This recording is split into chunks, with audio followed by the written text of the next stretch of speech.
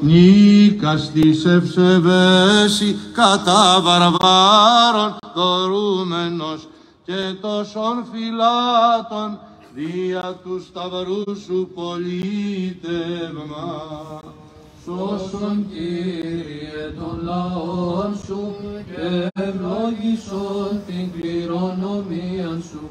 Νίκας της ευσεβέση κατά βαρβάρων δωρούμενος και τόσων φυλάτων δια του σταυρού σου πολίτευμα.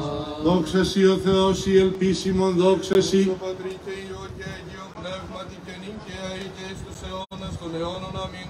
Κύριε ελέησον, Κύριε ελέησον, Κύριε ελέησον, Δέσποτα Αγίε ευλόγησον. Ο Αναστάς εκ νεκρών Χριστός ο αληθινός Θεός ημών, τες πρεσβείες της Παναχράντου και Παναμόμου, Αγίας αυτού Μητρός, δυνάμει του Τιμίου και Ζώπιου Σταυρού, του εναγίης Πατρός ημών, Νικολάου Επισκόπου Μύρων της Λυκίας του Θαυματουργού, του Προστάτου και Πολιούχου της πόλεως ημών, της Αγίας Ενδόξου Μεγαλομάρτυρος, γλυκερίας της Εντραϊανού πόλη μαρτυρισσάσης, εις την μνήμην επιτελούμεν και πάντων των Αγίων, ελεήσε και σώσε ημάς, ως αγαθός και φιλάνθρωπος και ελεήμων Θεός.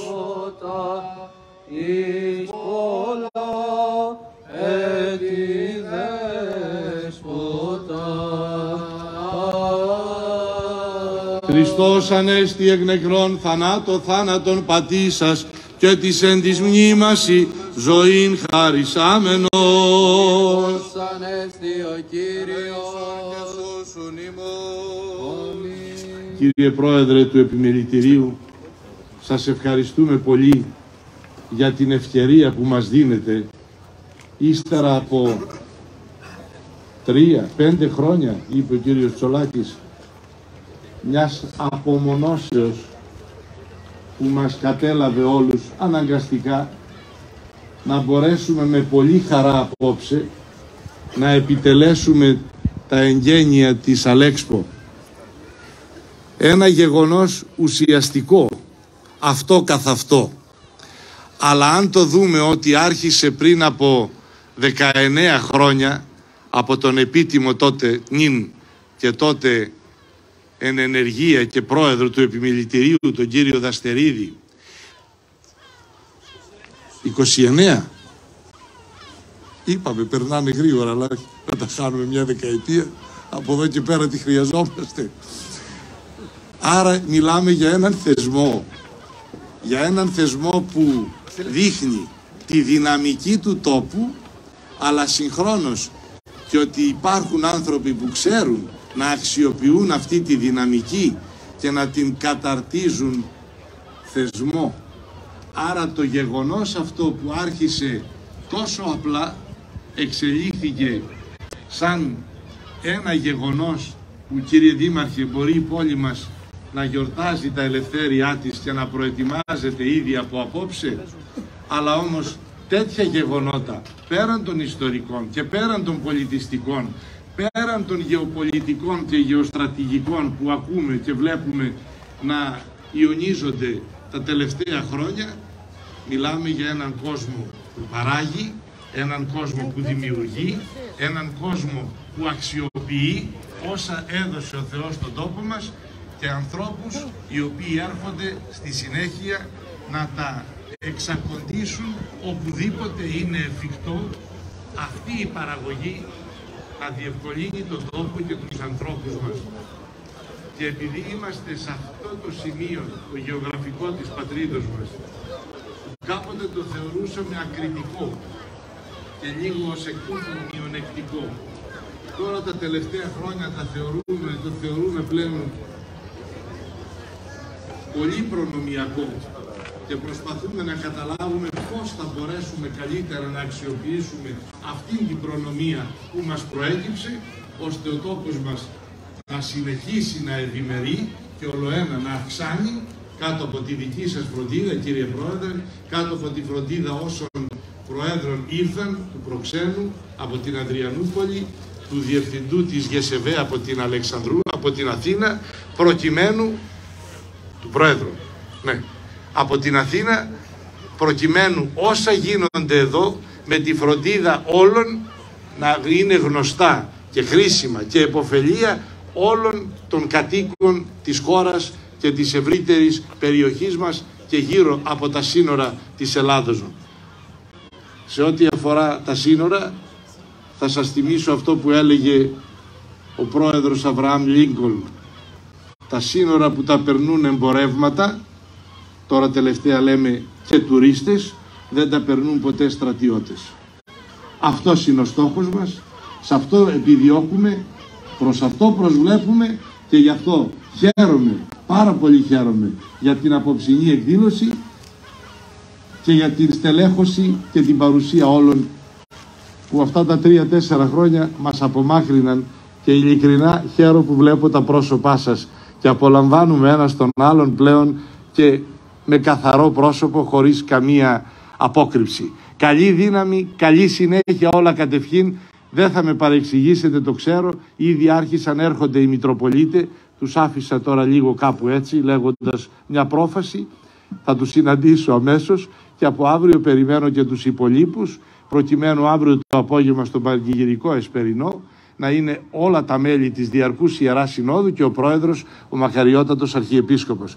Καλή δύναμη, καλή συνέχεια, καλή επιτυχία, όλα κατευχήν και πάντα τέτοια στον τόπο μας και σε ολόκληρη την πατρίδα μας.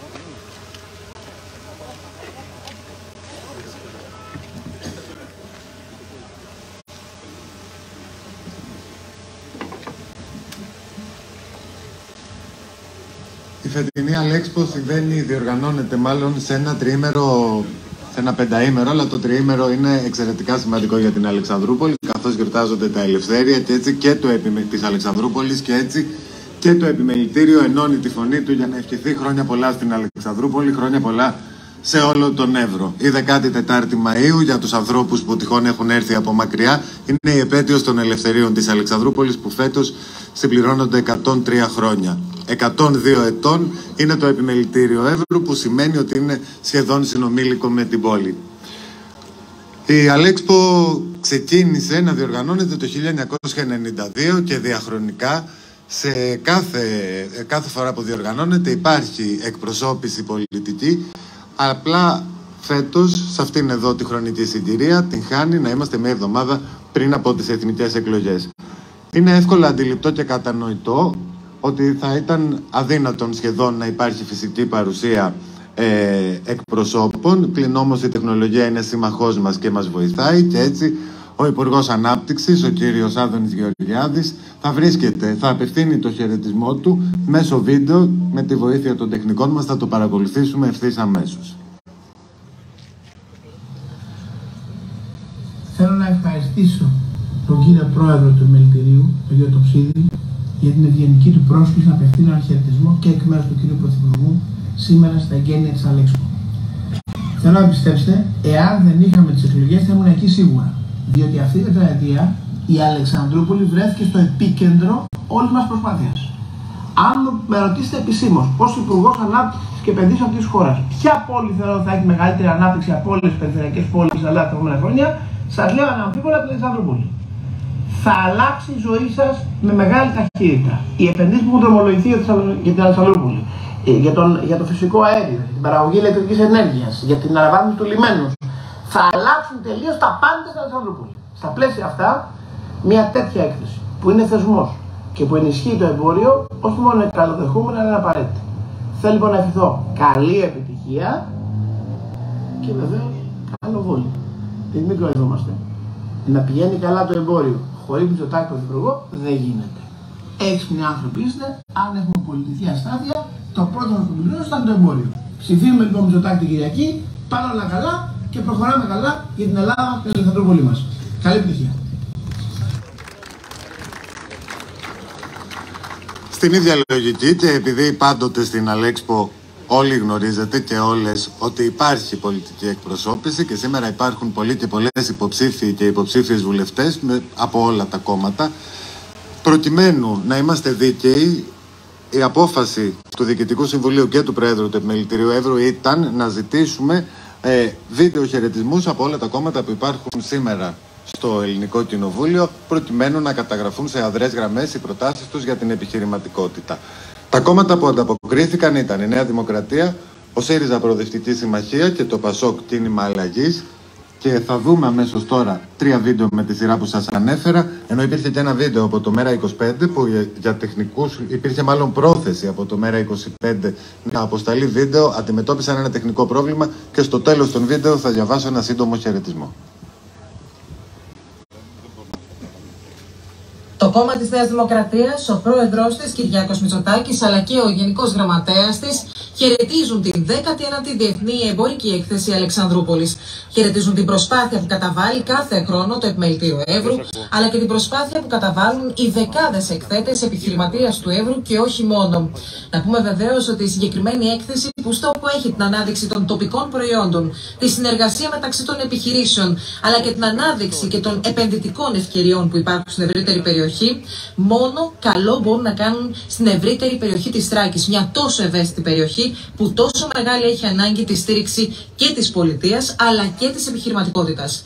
Η πολιτεία μέσα από ένα πλέγμα δράσεων τα τελευταία χρόνια στηρίζει εμπράκτο την επιχειρηματικότητα και στον Εύρο. Στηρίζει εμπράκτο ε, απέναντι σε όλες αυτές τις κρίσεις οι οποίες και δημιουργήθηκαν, είτε της υγειονομικής κρίσης, ε, είτε τι οικονομικές κρίσεις οι οποίες και έγιναν ουσιαστική στήριξη, δίνοντας ουσιαστική στήριξη σε επιχειρήσεις, αλλά και προσπαθώντας πάντοτε να ευνοήσουν και τις θέσεις εργασίας. Και αυτό θα επιχειρήσει η Νέα Δημοκρατία να κάνει και την επόμενη τετραετία, με ένα πλέγμα ακόμα μεγαλύτερη στήριξη επιχειρηματικότητας και βεβαίως με ουσιαστικά πεπραγμένα σε ό,τι έχει να κάνει με την εφαρμογή και των προτάσεων της Διακομματικής Επιτροπής της Βουλής για την Θράκη, ένα πρόγραμμα το οποίο έχει ανακοινώσει και ο ίδιος Πρωθυπουργός.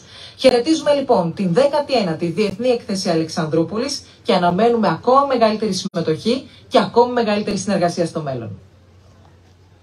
Είναι μεγάλη χαρά μετά την πανδημία να βλέπουμε ξανά την έκθεση Αλέξπο να ανοίγει τις πύλες της.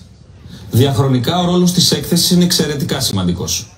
Με την εμβέλειά της καταφέρει να προσδώσει διεθνή προβολή στα συγκριτικά πλεονεκτήματα της ευρύτερης περιοχής και να κάνει περαιτέρω γνωστή την επιχειρηματική δραστηριότητα του Εύρου. Οι πολλαπλές κρίσεις των τελευταίων χρόνων, η πανδημία, η ενεργειακή κρίση και η διόγκωση του ιδιωτικού χρέους, έχουν πλήξει νοικοκυριά και επιχειρήσεις σε όλη τη χώρα. Τη μικρομεσαία επιχειρηματικότητα και την αγροτική παραγωγή, ιδιαίτερα στην περιφέρεια. Επομένως, χρειάζονται άμεσα πολιτικές ανάσας και τόνωσης της κοινωνίας και της πραγματικής οικονομίας. Για τη μείωση του κόστους παραγωγής, την ενίσχυση των εισοδημάτων, τη ρύθμιση των χρεών, την πρόσβαση σε χρηματοδοτικά εργαλεία. Χρειαζόμαστε ένα παραγωγικό μοντέλο με υψηλή προστιθέμενη αξία που θα δίνει έμφαση στα συγκριτικά πλεονεκτήματα της χώρας μας. Σε αυτή την κατεύθυνση κινούνται οι προγραμματικές θέσεις του ΣΥΡΙΖΑ Προοδευτική Συμμαχία.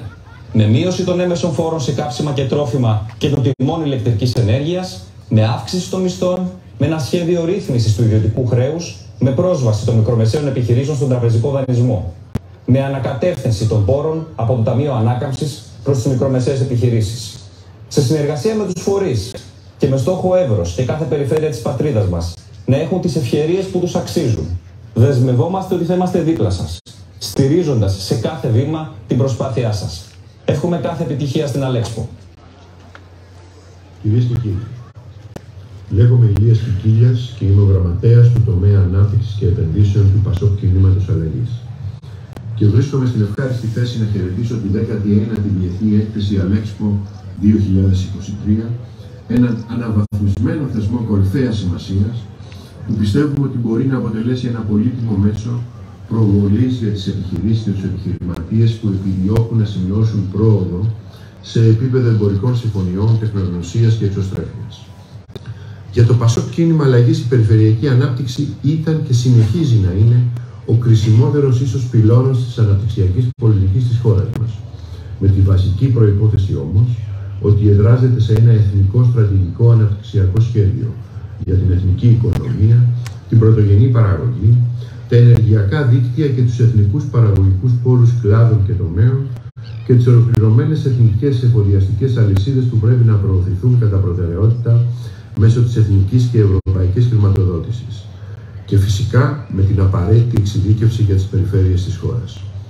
Δίνουμε προτεραιότητα στην ελληνική παραγωγή, την ανάσχεση του αφελινισμού της ελληνικής οικονομίας, περιουσίας και των ελληνικών επιχειρήσεων, την κινητοποίηση των εγχώριων επενδυτών να επενδύσουν στην πατρίδα μας και στις δραστηριότητες υψηλής εγχώριας προσυστέμενης αξίας που συνδέονται άμεσα με την εγχώρια αγορά, χρησιμοποιούν προϊόντα και υπηρεσίες της εγχώριας και περιφερειακής παραγωγής, δημιουργούν καλές θέσεις εργασίας, προωθούν τις εξαγωγές και μειώνουν τα εξωτερικά ελλείμματα. Αυτό είναι πολύ συνοπτικά το αναπτυξιακό πρόγραμμα του ΠΑΣΟΚ Κίνημα Αλλαγής έχει καταθέσει εν ώψη των επόμενων εκλογών και στο οποίο είχα την τιμή να είμαι από τους βασικούς συντάκτες μαζί με τον Νίκο Χρυστοδουλάκη. Τα Βαλκάνια και η Ανατολική Μεσόγειος ήταν ιστορικά προνομιακός χώρος για την ελληνική οικονομική δραστηριότητα. Πριν την κρίση, οι ελληνικές τράπεζες και οι ελληνικές επιχειρήσεις είχαν καταφέρει να αποκτήσουν μια δεσπόζουσα θέση στις βαλκανικές οικονομίες. Αυτό οφειλόταν κατά κύριο λόγο στη συγκεκριμένη και αποτελεσματική οικονομική και διπλωματική πολιτική που εφήρμοσαν οι κυβερνήσεις του ΠΑΣΟΚ από το 1993 έως το 2004. Κατά την άποψή μου, μια από τις σημαντικότερες επιπτώσεις της χρεοκοπίας της χώρας μας, αλλά και τις λιγότερο γνωστές, ήταν η απώλεια των βαλκανικών αγορών για τις ελληνικές επιχειρήσεις. Η γεωγραφική θέση της περιφέρειας, σε συνδυασμό αφενός με τους εμπολείς αναξιοποίητους πλουτοπαραγωγικούς πόρους της, αλλά και τις διαμορφούμενες γεωπολιτικές συνθήκες και εξελίξεις, μπορούν να καταστήσουν την Ανατολική Μακεδονία και Θράκη ατμομηχανή της ανάπτυξης, όχι μόνο για την περιοχή, αλλά για ολόκληρη τη χώρα. Αν όμως υπάρχει στρατηγική και σχέδιο και εφαρμοστούν οι απαραίτητες πολιτικές. Ευχαριστώ πολύ και εύχομαι καλή επιτυχία.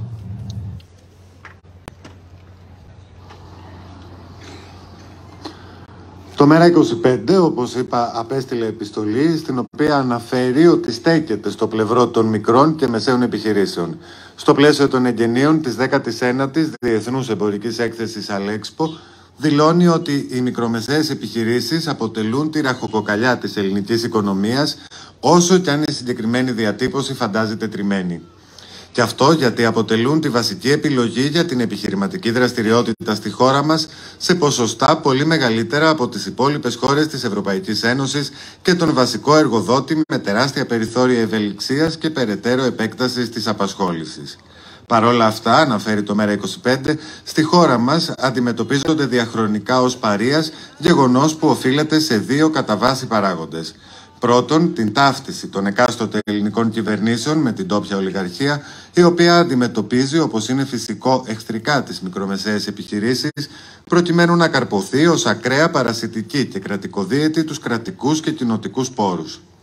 Δεύτερον, την αδυναμία των μικρομεσαίων επιχειρηματιών λόγω της πολυδιάσπασης των αντικειμένων δραστηριοποίησης και της απασχόλησης των ίδιων των επιχειρηματιών ως εργαζομένων με πλήρες και πολλές φορές ευρύτερο ωράριο που δεν τους επιτρέπει να συνδικαλιστούν ουσιαστικά και να παρέμβουν στα κέντρα λήψης των αποφάσεων. Σε αυτό το σημείο προστίθεται και η γενικευμένη καχυποψία που αφορά τη συνδικαλιστική δράση γενικότερα. Τι μας λένε τα κριτήρια επιλεξιμότητας του Ταμείου Ανάκαμψης και Ανθεκτικότητας, διερωτάται το ΜΕΡΑ25 και απαντά ότι για να επιλεγεί μια επιχείρηση προς δανειοδότηση από τους πόρους και τους ευνοϊκούς όρους του Ταμείου Ανάκαμψης και Ανθεκτικότητας πρέπει να αξιολογηθεί τραπεζικά, να κρίνουν δηλαδή οι τράπεζες ότι έχει πιστοληπτική ικανότητα, ότι είναι bankable. Ακριβώς λοιπόν, επειδή στη χώρα μας, λέει το ΜΕΡΑ25, από το σύνολο των 700.000 επιχειρήσεων κάθε μεγέθους, μόνο οι 30.000 κρίνονται πιστοληπτικά ικανές, η συντριπτική πλειοψηφία των μικρομεσαίων επιχειρήσεων θα μείνουν εκτός χρηματοδότησης. Επαναλαμβάνω λοιπόν και υπενθυμίζω ότι η πρόσκληση για αποστολή βιντεοχαιρετισμού εστάλει στα έξι κόμματα που εκπροσωπούνται στο Ελληνικό Κοινοβούλιο και, και ανταπόκριση δεν ήρθε από την Ελληνική Λύση και το Κομμουνιστικό Κόμμα Ελλάδος. Στη συνέχεια της εκδήλωσης αυτής θα καλέσω τον εκπρόσωπο της Περιφέρειας Ανατολικής Μακεδονίας και Θράκης, τον κύριο Δημήτρη Πέτροβιτς, για να απευθύνει το χαιρετισμό του.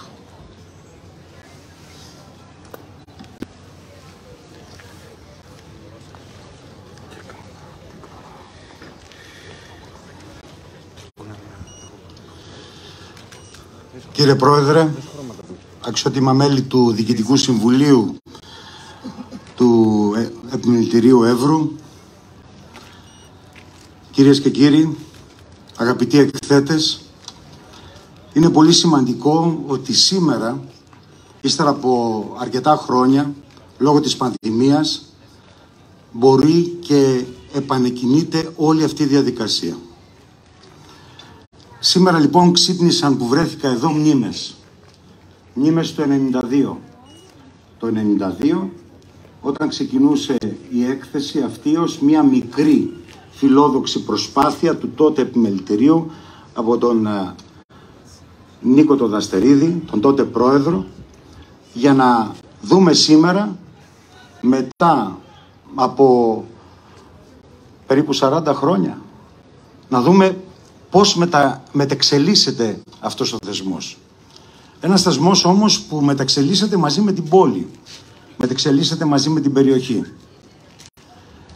Στην πορεία όλων αυτών των χρόνων είχαν ακουστεί, θυμάμαι, και από την προγενέστερη ιδιότητά μου, την επαγγελματική του δημοσιογράφου, πολλές ιδέες.